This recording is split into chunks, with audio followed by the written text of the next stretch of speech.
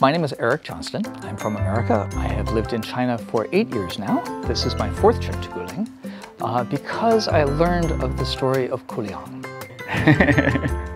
Shanghai. 古岭，对曾经生活在福州的外国人来说，是躲避酷暑与疾病的圣地。他们再次聚集，形成了配套设施十分完备的中西融合社区。 曾经在这里生活的外国人，把他们的童年、青春和爱情留在这里，谱写成一段又一段感人至深的古岭故事。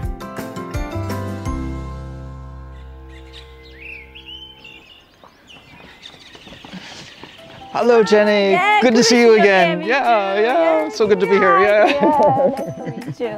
Okay, so let's begin our trip. Yeah. Now we can see Isha Villa. It was first built in 1919. At the beginning, it was used as a small hospital in Kuliang, and many foreign children were born here.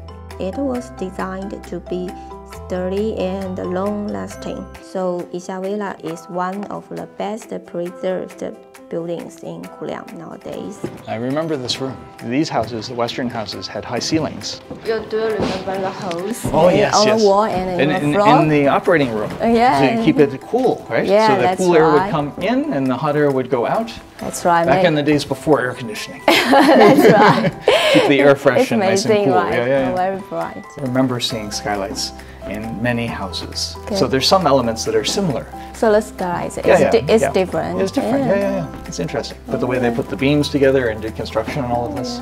It's brilliant. And I think I think uh, in many places it's hard to get.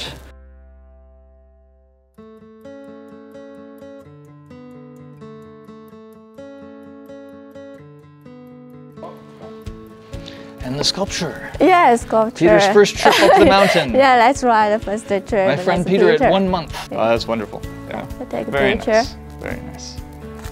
Let's go into uh, his house. Also, Alan's house. I know. so Oh, so- strange to be here without Ellen. on the Life of the. Mountain Museum.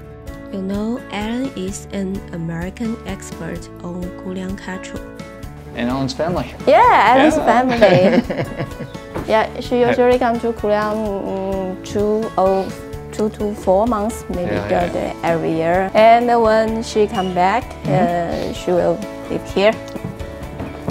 Wow, collection of cameras. Yeah, Those cameras, those, those cameras yeah. were collected by Alan. Yeah. Yeah, and also you see the seal wax.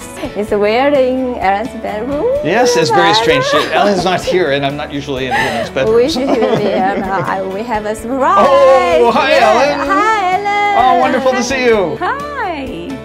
Oh, it's good to see you too. Yeah, we Guess where we are. Where's my bedroom? She'll be here. Yeah, we miss you. Next trip, you. we will have to come together. Okay. Uh, the change has been quite remarkable. Did you see in the museum the magic lantern?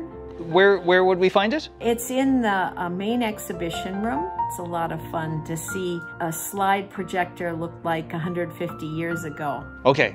Yes, we'll be sure to look for it. And this is the 135th anniversary of Foreign Friends coming to Kuliang.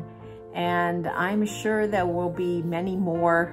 It's a very special place of love and friendship and respect and peace.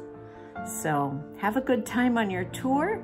And I'm going to say good night or good day for now. And I'll see you soon, I hope. Okay. Thank you, Ellen. It's great to see you. Okay. Okay. Bye. It's wonderful to be back. It's wonderful to walk through and see all the renovations. You see the stories in the architecture. You see the changes that have happened in the influence over the last 100 years. 一座座古老建筑背后，承载着悠久的历史文化。